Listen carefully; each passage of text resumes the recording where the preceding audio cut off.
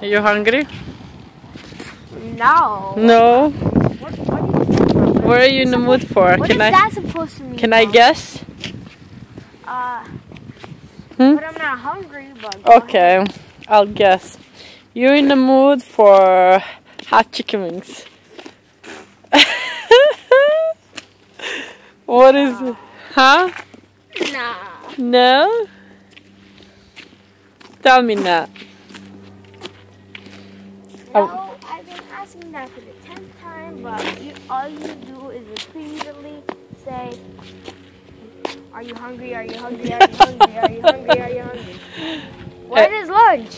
Lunch is when we walked around, we go back home and we order chicken wings.